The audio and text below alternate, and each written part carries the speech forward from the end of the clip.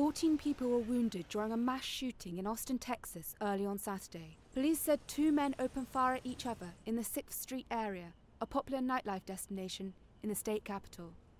One of the two suspects is still at large. Austin Police Department Interim Chief Joseph Chacon said it was an isolated incident between the two parties.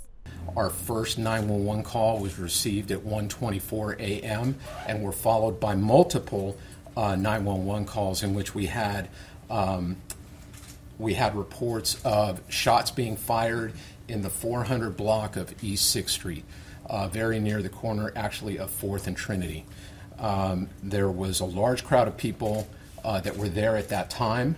Um, this was Friday night uh, in our downtown entertainment district. We have two victims that remain in critical condition, um, and then we have 12 victims uh, that right now are in stable condition.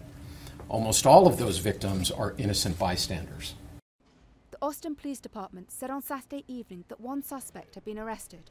Officers were continuing to follow up on leads to apprehend the remaining suspect.